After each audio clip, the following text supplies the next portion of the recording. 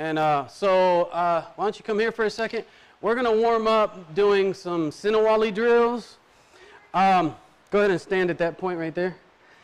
Uh, so we're going to work on footwork, uh, geometrically spacing, but we're moving off the X. Um, go ahead and switch spots with me real quick. If you notice, this makes like an asterisk, right? We've got our forward angles, our lateral angles, and uh, straight forward and side to side. Basically, I can move in any direction. What we're going to do is starting at apex. So go ahead and start at the point with your feet together, hands up like this. Go ahead and step to apex at this point right here, but keep your back foot back, so don't travel the back foot. Start with your feet together, and then just take a step. Right, so we're going to be moving laterally, right? Um, a lot of times when somebody goes to fight, they're going to attack straight down the center line. Don't, don't move right now. Well, a lot of times they're just going to come at you straight down the line. If you step at me to hit me with this hand, you're coming straight down the line. Straight down the line. Just like I did. Watch me. Stepping forward to hit, it, you know, like this, right? If you step forward to hit me and I move off the line, it gives me the advantage of sectoring or quartering, flanking kind of thing, right? So as he moves to me, I want to move off the line. So we're going to incorporate that into our drills right now. Basically, we're going to be moving right and left. So step back behind the point, right, and step right.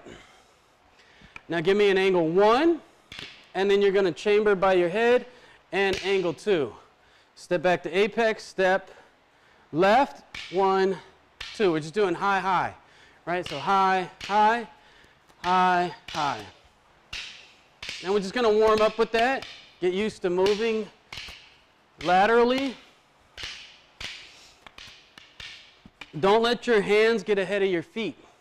So step, then strike, so that you have your whole body when you're striking. Make sure that your feet are planted. First, get your feet planted, and then use your rotation. All right, so partner up. Go ahead and step right here with me. Um, so we're not stepping sideways like this, stepping on a forward triangle. So make sure that you're moving forward, right? So he's going to step forward with his left. I step forward with my left, but off at an angle. And then one, two, step back, step off. So make sure that you're not stepping this way. I'm stepping this way.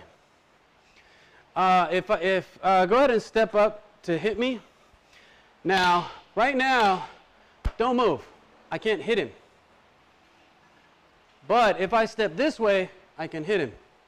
Now, sometimes that's used as a diversionary tactic where he steps to hit me and I move off the line to avoid being hit. But if I want to hit him, I need to make sure that I step into hitting range. Right? So as he steps, I'm here and I'm here. Now, your hand's coming down. Keep that up.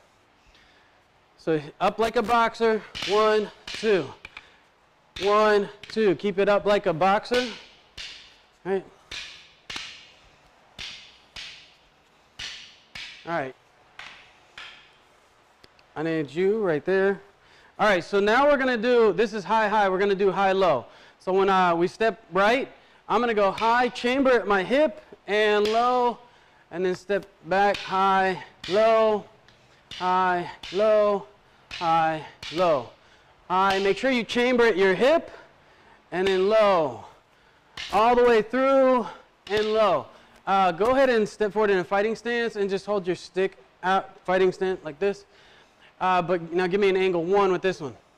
Now if I hit and retract, that's a broken strike. If I go all the way through, that's a fluid strike, right? So the first strike is fluid, and then go ahead and chamber and give me it on the backhand side fluid, right? So I'm to go one, two, step back, step forward, one, two.